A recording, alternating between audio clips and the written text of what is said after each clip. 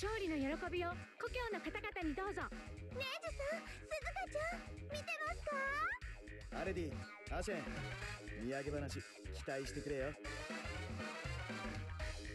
コスモスさんとテロスさんどちらがお強いのでしょうか？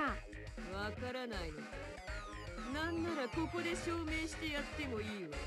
チームワークに支障をきたす発言は控えてください。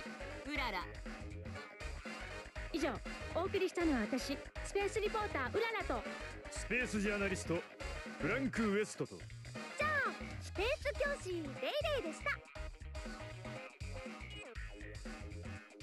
ダンテさん今のお気持ちをご家族の方々に。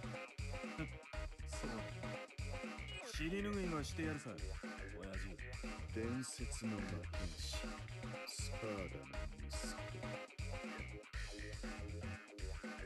せーの勝利のポーズ。決め。